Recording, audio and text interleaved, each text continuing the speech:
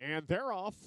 That is D-Arc Rennie to the front on the outside. CDC Mason with AMF Bounty Hunter now claiming the lead.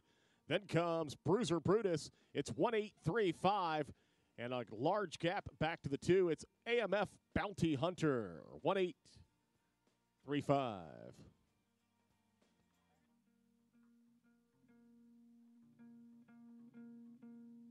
Race number two. The winner number one, AMF Bounty Hunter. Second, number eight, CDC Mason. Third,